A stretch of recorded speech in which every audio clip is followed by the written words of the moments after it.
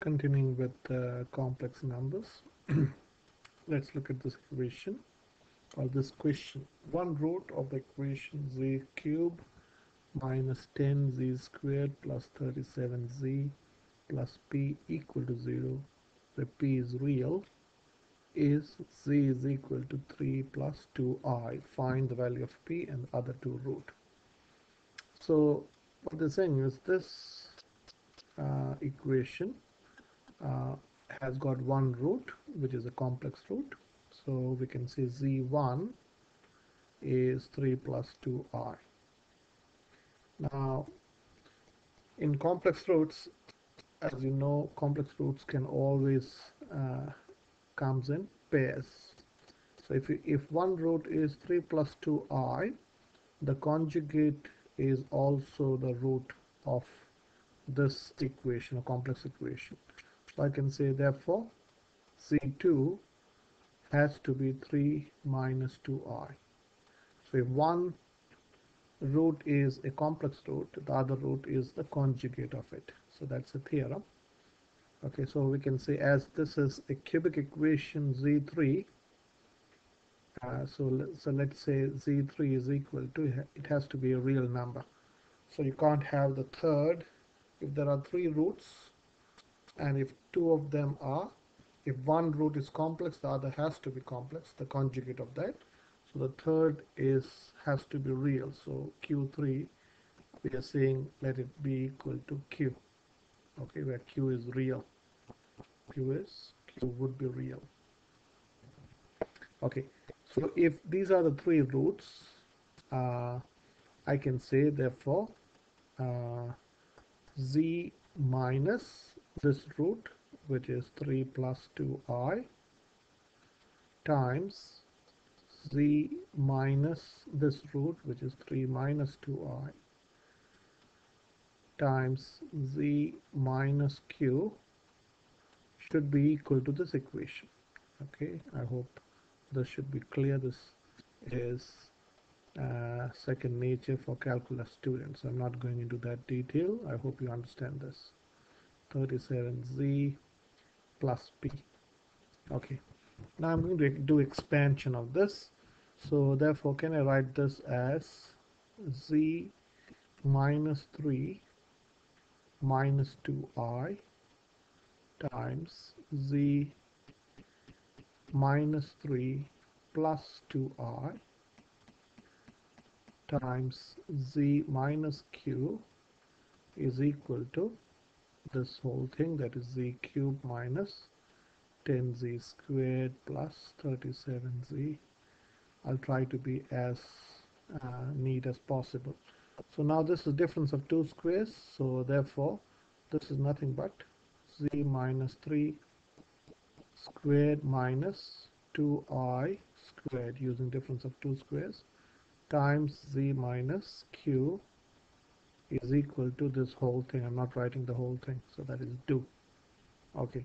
Therefore expanding this this is z squared minus 6z plus 9 minus 4i squared times c minus q is equal to 2 2 means I don't want to repeat the whole thing.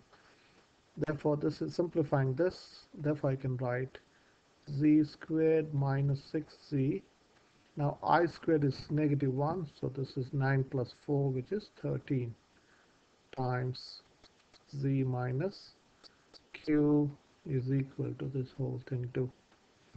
Okay, so now let me expand this.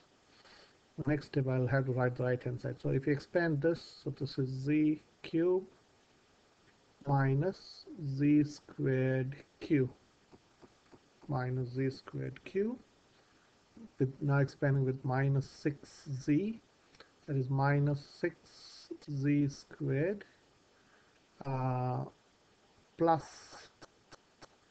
6z q plus 13z minus 13q is equal to this whole thing which is z cube minus 10z squared plus 37z plus p.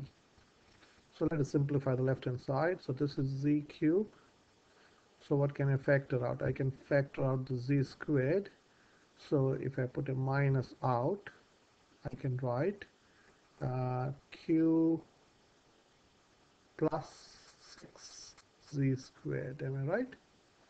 I'm putting a minus out, so it'll be q plus 6z squared plus uh, I can write 6q times z plus now I can factor out yeah I can factor out a z there.